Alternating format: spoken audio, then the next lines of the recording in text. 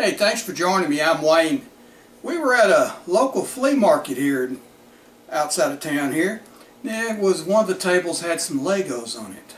Some of them were new, some of them were used, opened, but they had good, pretty good prices on them. He said they were all, pieces were all there, so I picked up this one. It's Lego 31020. Okay? It is Twin Blade Adventures. It's a three-in-one. It looks like a plane, a helicopter, and a biplane. So we're going to open that and we'll show you some of the others that we got too. Here it is, a little closer view of it. See it's three in one. There's the piece, the back of it. We'll get this open. 216 pieces.